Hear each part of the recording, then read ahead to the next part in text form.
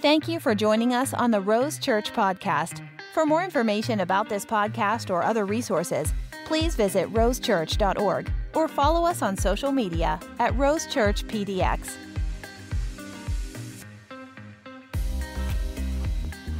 I usually get to preach three times a Sunday. I get one time today, so I'm gonna I'm gonna go for my one time today. So usually I get three times, like go through all day. I get one shot today, and just let you know, uh, I I am ready to preach today. And if you're a visitor today, welcome. I know that today can be very overwhelming. Like this is a new, it's a big room. You know, worship and karaoke was way too loud, and beach balls. What do you like at a concert? You know, like I get today could be a little overwhelming for you today, but I'm so glad that you came. I know for many of you, to even like darken the doors of a church is a big step for you. And you know, I know maybe your girlfriend, wife, neighbor, you know, maybe on social media someone tagged you and you decided to come. Thank you for being here. And uh, we're going to go to the Bible today. And so I'm going to preach hard and preach quick so we can get some worship back in and uh, some other things. But I believe I have a word for you today and for us as a church. And if once again, if you're a visitor or maybe you haven't been in our church in a while, and this is this is going to be kind of a um, a big family discussion, if you will. This is going to be a big table that we're in a family discussion around. Go with me to the book of Joshua. The book of Joshua, chapter three.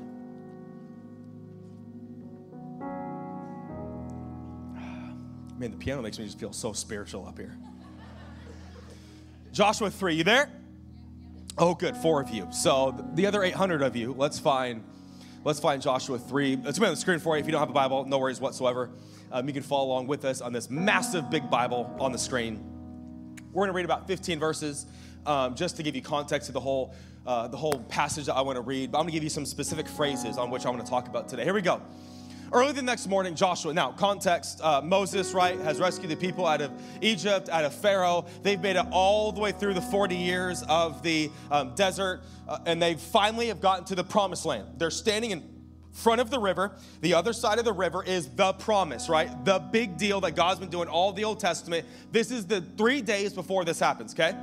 So early the next morning, Joshua and all the Israelites left uh, Acacia Grove and arrived at the banks of the Jordan River, where they camped before crossing. Three days later, the Israelite officers went through the camp giving these instructions to the people. Hear this. When you see the Levitical priests carrying the presence of God or the Ark of the Covenant of the Lord your God, move out from your positions and follow them. Since you have never traveled this way before, they will guide you. Stay about a half mile behind them, keeping a clear distance between you and the ark. Make sure you don't come any closer. Then Joshua told the people, Purify yourselves, for the tomorrow the Lord will do great wonders among you. In the morning, Joshua said to the priests, Lift up the ark of the covenant and lead the people across the river. And so they started out and went ahead of the people. The Lord told Joshua, Today I will begin to make you a great leader in the eyes of all of the Israelites, and they will know that I am with you, just as I was with Moses. Give them this command to the priests who carry the Ark of the Covenant. When you reach the banks of the Jordan River, hear this, take a few steps into the river and stop there. So Joshua told the Israelites, Come and listen to what the Lord God says. Today you will know that the living God is among you. He will surely drive out the Canaanites, Hittites, Hivites, Perizzites, Gibeonites, Amorites, all the ites, the Jebusites. Ahead of you. Look, the Ark of the Covenant, which belongs to the Lord and the whole earth, will lead you across the Jordan River. Now choose 12 men from the tribes of Israel, one from each tribe. We're going to end here soon. The priests will carry the Ark of the Lord and the Lord of all the earth. And as soon, hear this today, as soon as their feet touch the water, the flow of the water will be cut off upstream, and the river will stand up like a wall. So the people left their camp to cross the Jordan, and the priests who were carrying the Ark of the Covenant went ahead of them last two verses. It was harvest season, and the Jordan was overflowing in its banks. But as soon as the feet of the priests who were carrying the ark touched the water at river's edge, the water above that point began to backing up like a great distance away at a town called Adam, which is near Zarethan. And the water below that point flowed to the Dead Sea until the riverbed was dry. Then all of the people crossed over near the town of Jericho My title for our talk this morning, my message, is simply a question. We are crossing over, are you? We are crossing over, are you? Let's pray as we dive into Joshua chapter 3. Jesus, we thank you for your word. We thank you that you are here that you are speaking to us, God. We thank you that you are calling us up and out, God. Even I just pray for even our college starting today, God, and the announcements, the applications, everything going today, God, that your presence would lead us. And God, even today, it's such a holy moment, such a special moment in our church's history. Jesus, we pray you'd be here as we spend a few moments on your word and consider Joshua chapter 3 and what you would say to our church today. In your mighty name I pray. And everyone said, Amen. Um, we have a weird relationship with change. Have you noticed this yet? That we all want it, but we all hate it at the same time. Like we want new clothes, we want new cars, we want a new home, we want a new job, we want a new position. Uh, sometimes we want new relationships, new whatever. We we actually really, really want change, but we hate it when it comes. And uh, or transitions, right? We don't really like transitions. But I don't know about you, but have you ever met these people that have never transitioned to their new season of life? It's like this college students that all they ever talk about is junior high or like high school. Like, oh yeah, man, junior summer was amazing. Like, dude, you're 22. Like, you should get past the high school thing. It wasn't that good. Or right, early, you know, married people, whatever, like, oh, college was the thing, and they still act like they're in college. Or like, let's get really practical, it goes this way. Like, married people that still act like they're not married, like guys, like, like not that way, calm down, okay? So you're like, oh, church, okay. No, not that way. But like, especially guys that like haven't made the transition, like, I can't just do whatever I want anymore and like just have people over whenever I want or whatever. Like, I haven't made the transition. Well, um, today we are making a transition this new building that is coming up, um, college, um, things that we are stepping into in our church just started 18 months ago. To sit here today and think that 19 months ago we were in my mother in law's living room with 22 people. And then we started, that's my mother in law. Um, and then, woo! Uh, you know, then you probably drove by it today, Cup and Bar and MLK with 90 people that showed up for our first meeting, and now we're here. And, and this, is the, this is the thing after today, we can't go back. We are crossing over into a new season of the college, a new season of a building, a permanent home. No more set up and tear down. You're welcome, set up and tear down team. Um, but the thing about today is this moment, this room, announcing a college, buying a building, we are crossing over a river. So, my question to you is we are crossing over. Are you? Are you going to cross over with us? And today is a, a, historical, monumental day, and I would like to say to you, just even publicly, we are not going back. We're not going back to the old. We're not going back to the comfortable. We're not going back to the easy. We are crossing over. And I love Joshua 3 because Moses just died. And Joshua's first task is to make a transition. He hasn't done anything yet. Moses just died. The people miss him, they miss Moses. Joshua's the new leader. And the first thing that Moses, after he's dead, the first thing that Joshua has to do is cross a river, make a transition. I want to give you four thoughts today about crossing over. Four thoughts today from Joshua 3 about crossing over. Uh, number one is uh, let his presence lead. I love Joshua 3 because we read it right in the beginning. He says, um, You've never been this way before. So let the ark lead. Do the ark represented, maybe if you weren't raised in church or like, what, what is the ark? No, it's not just the thing from, um, you know, old movies and what people see, you know, Raiders of the Lost Ark, whatever it might be. Um, the ark was represented God, represented his tangible, physical, the Bible calls it Shekinah glory, like his, his presence was in a box. And so, what is God saying? You've never been this way before, so let my presence lead you. Can I say to you right now, where we're going, I've never been there before. Listen, I did not plan this to buy a building and start a college in the same month. That was not my plan. It was not my plan whatsoever. I even got to the point a few months ago, to be honest, like maybe we should put a hold on the college for a while while we're doing the building thing. But we felt peace to go forward. And hear me, I'm just, once again, welcome to a big family conversation, okay? This is the first time in my church history like me being involved in church, which is over 10 years, like full time staff. It's the first time, I said this to Julia the other day. It's the first time in my leadership life I don't know what I'm doing. Some of you are like, oh, maybe this is not the church for us. No, the other day I was praying about the college and about today and hoping that you would show up and fill the room. And I go, God, I, I, I don't know what I'm doing. And I said this phrase I go, God, for the first time, I'm in over my head. And I felt the presence of God, the Spirit of Jesus say, finally. And I was like, finally, what? He was like, you can't lean on you anymore. You know why? Because we, Rose Church, we are going somewhere that we've never been before. And, and we need his presence to lead us.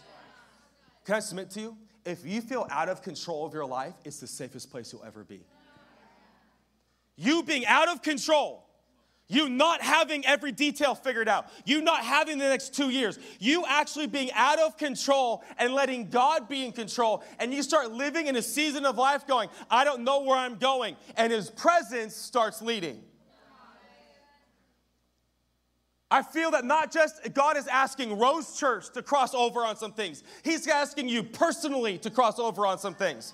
Cross over some things in your marriage, in your business, in your finances. Maybe God's asking you to step out. There's a, there's a season that God's saying, Come on, cross over. And it goes like this I don't know where to go. I know. So, how do I know the way? My presence will lead you. But here we go. This is what I want to talk about for a little bit. He says specifically the Ark of the Covenant, right? The box, which was God's presence. Fast forward a couple thousand years to the New Testament, God's no longer in a box. The Bible says that when Jesus was crucified on, on Calvary and his flesh was ripped open and his body was mutilated and our sins were forgiven for eternity, and it was a gift, a free gift, by the way. If you're not a Jesus follower today, that gift is available for you today. And the Bible says this when he said, It is finished, the veil was torn from head to toe. The veil, by the way, in Old Testament, New Testament, the veil was where one priest, one time aware, uh, one time a year, the high priest could go behind the veil and be in the very presence of God. And so when Jesus died on the cross, the Bible says the veil was ripped. In other words, the thing that kept man distant from God is now gone. You see, see, the veil ripping wasn't just letting God out, it was letting man in. And now the, the presence of God is no longer in a box. It's not in a, in a physical space. It's not behind an ark. And then the Bible says when Jesus goes back up to heaven, he says this to his disciples oh, It was better that I leave. It's better. No, it's not, by the way, Jesus. It's not better. He goes, No, because if I don't leave, the helper, the comforter cannot come. See, this is so important and in the book of Acts, right, the church starts in a prayer meeting, by the way. That's how church started in a prayer meeting with the Holy Spirit. Now, maybe you're in this room today and you're like, the vibe is fun, the fog was kind of cool, uh, waffle window was free, and that's great, but this room's kind of fun and vibey. Let me just put the record straight. You've walked into a room with a bunch of people that are really into the spirit and the presence of Jesus. And what you feel is not a light, a sound, a room, or a vibe, it's the person of the Holy Spirit. And this is why it's so important because now, because of the Holy Spirit, the ark isn't out there, it's in here. And this is my, my, my ask of you. Will you let God out of the box? No, God, this is your box. This is how you speak. This is how you give me money. This is how my job works. This is how promotions work. God, no, this is your box that you get to operate in. This is your way that you speak. This is how you move. This is where I'll go. I think we are still living in an Old Testament paradigm that God is still in this tiny little box. Well, friend, that spirit got out of the box and now it doesn't live in a building or a temple or a room. Now it lives on the inside of you. So that is so good news because that means every day you go to work, the ark is with you. Every day you go to your home, the ark is with you. Every day you go on a trip, the ark is with you. Why? Because now his presence isn't on you, it's in you.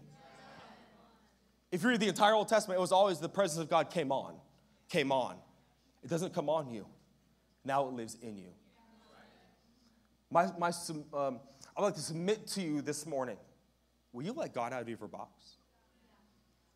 And start praying prayers like this God, however you want to do it. It uh, uh, uh, just real simple like this God, 18th month old churches don't buy $2.5 million buildings. That's out of the box, God.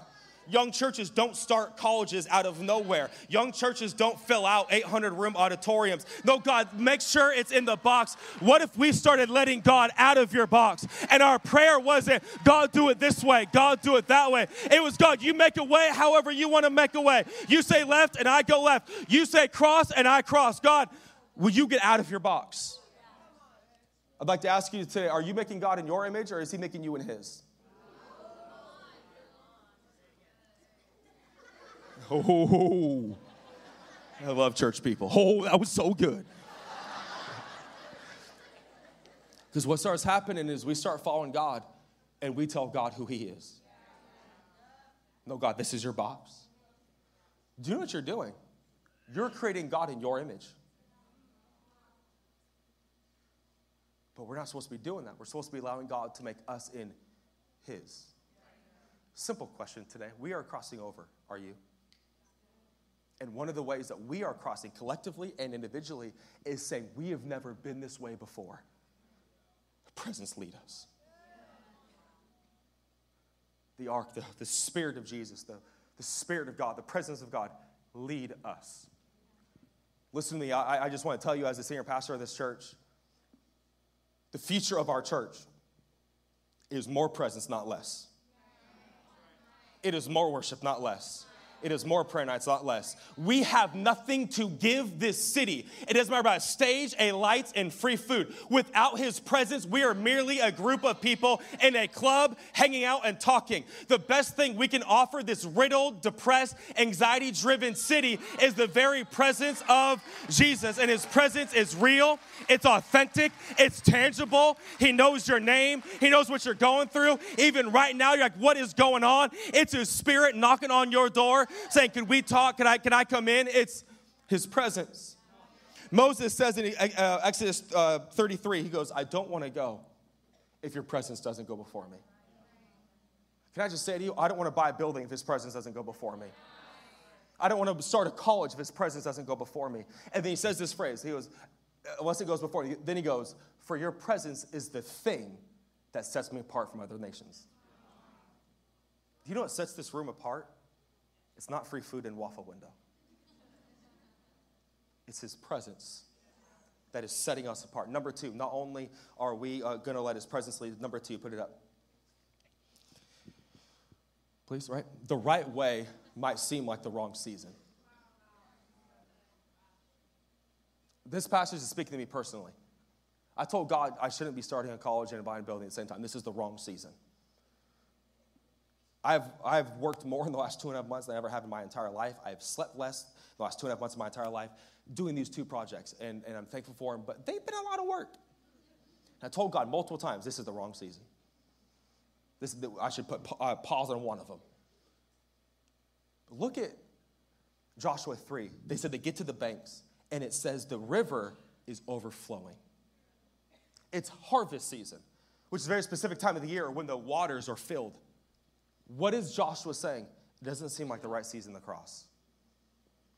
We should wait till it's not harvest season so the water's less, so the opposition is less the difficulty is less. It makes more sense to my sight to wait a few more seasons. It makes sense to my visual to wait a few more seasons till the water is lower. Some of you like, it makes sense to my visual to wait to serve for a while. It makes sense to my visual not to give for a little bit. It makes sense to my visual not to commit yet. Can I, I just challenge you right now? Often, when God is leading you the right way, it usually seems like the wrong season.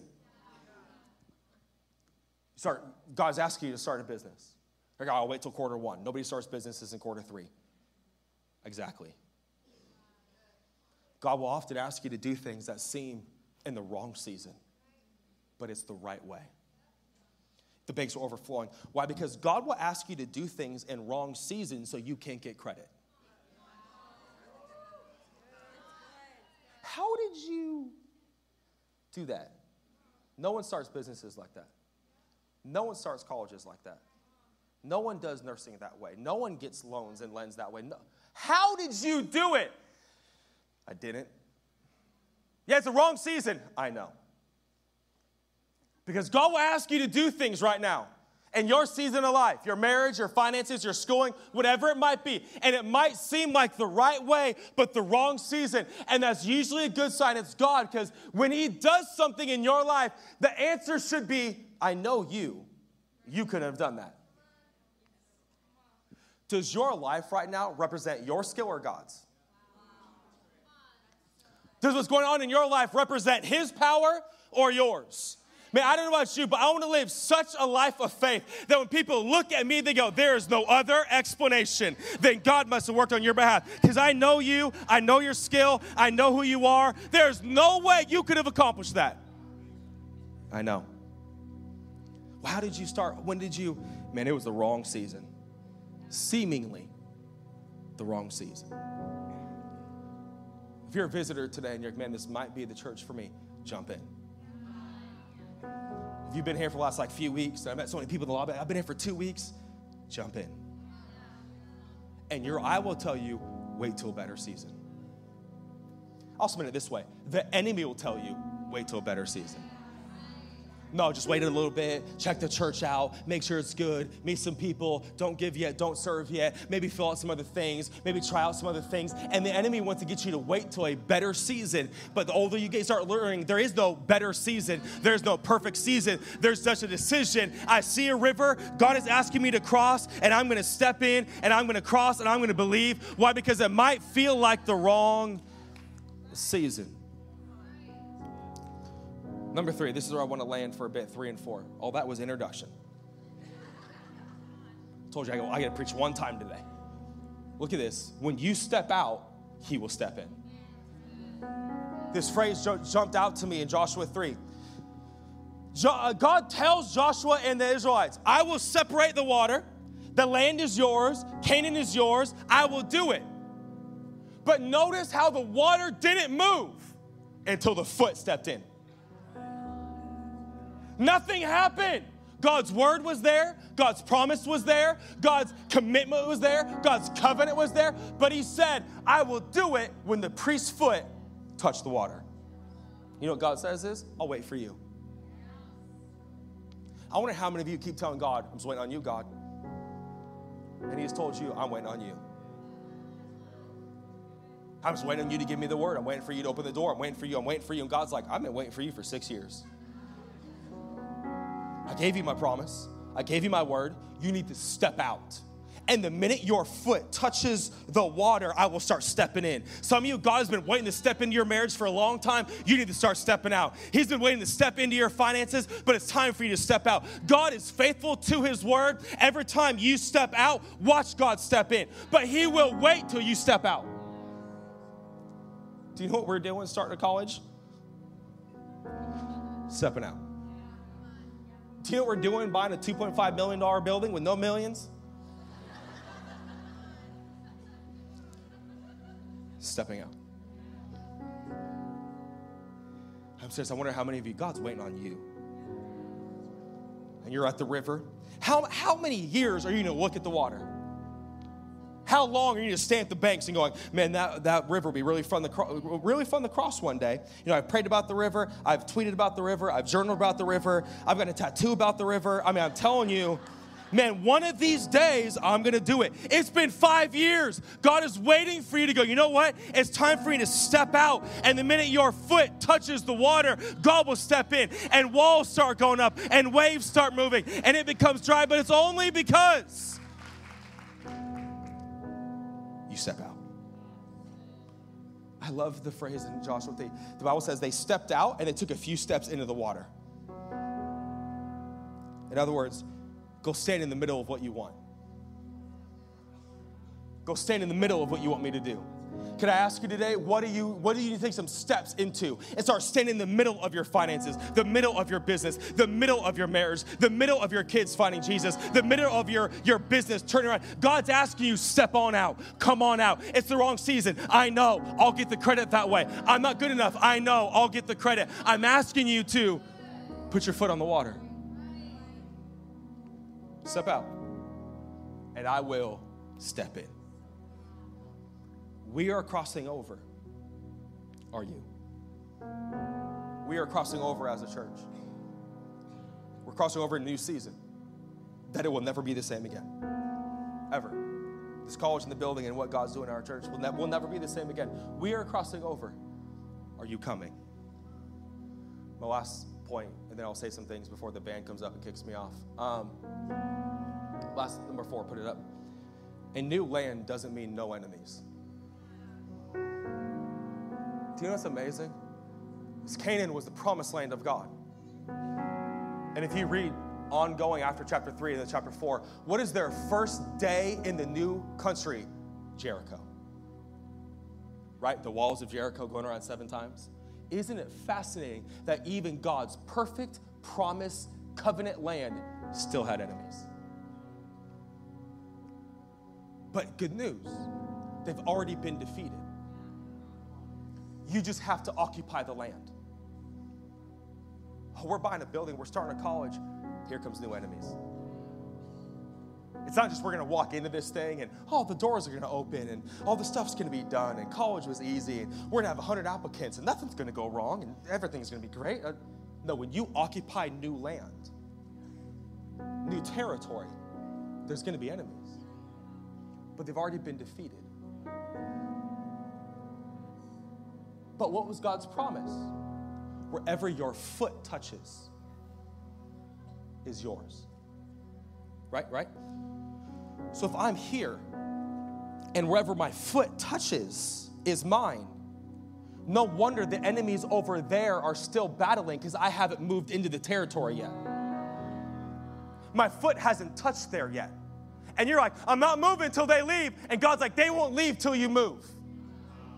No, there's enemies, God, in the new land, the new finances, the new business, the new entrepreneurial thing, the new freelancing. There's enemies. I'll wait till they leave. And God's like, they'll leave when you occupy the land. Because I told you, wherever your foot goes is yours. Do you know what we're doing buying a building? Putting our foot somewhere. Putting our foot down in physical territory. Starting a college, putting our foot down in physical territory. Why? Because we are, we're stepping out and waiting for God to step in. We're crossing over. Next weekend, and this is where I'll land. Next weekend, we are starting a series. Jake, they have that slide, yeah? Thanks, Dad. Next weekend, we are starting a series called All In, Risking Everything for Changed Lives. I'm all in. And I'm going to risk everything for changed lives. We're not risking everything for a building. We're not risking everything for an area code. We're not risking everything for brick and mortar and paint and carpet. We're risking everything for changed lives.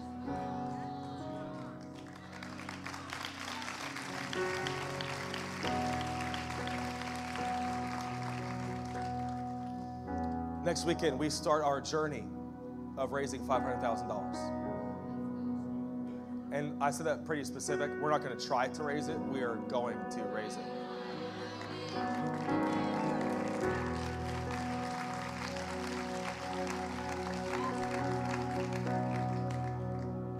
But we need you. Listen, I'm very aware, and I'll say this again next weekend for those who couldn't come today. I'm very aware I am out from the boat. I'm on the water. And I'm asking, would you join me? I'll be real forthright. Would you trust me? Would you follow me? Would you cross over? Because we're doing it. And I'm asking you to join me. I'm asking for a couple things. Number one, be at church next weekend. We're to do a six week series between October 13th and November 24th, seven weeks. A series called All In. We're risking everything. If you want to write this down, November 24th is our Give Sunday. If you want to start praying about numbers and finances and moving things around, November 24th is where we're going to take that offering. And I'm, I'm personally, just so you know, my, I don't know if I should even say it. my prayer number is $1 million, by the way, not $500,000. A million dollars. To have finances to remodel the building, to put money down to have our monthly payments lower, uh, to get ready for the college. Um, an aspect of it is one of the rooms, and by the way, the new building is going to be for autistic kids. We're going to have a sensory room for autistic kids and families. Which you're aware that that takes a whole other level of lighting and toys and whatever, but like, we're going to do it. We are crossing over. And I'm very aware that you're like, money's an iffy thing for me anyway. And I had church hurt. Welcome to the club. We meet on Tuesday nights. There's 6,000 of us. Come hang out. Listen, I'm, I'm trying to take the air out of the room. Like, I know I'm asking something big. I, I know I am. I'm young to some of you, I'm old to some of you, which is sucky.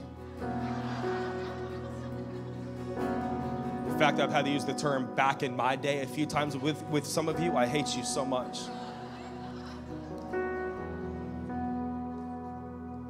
I, I understand that this is a big room. We're moving in something big.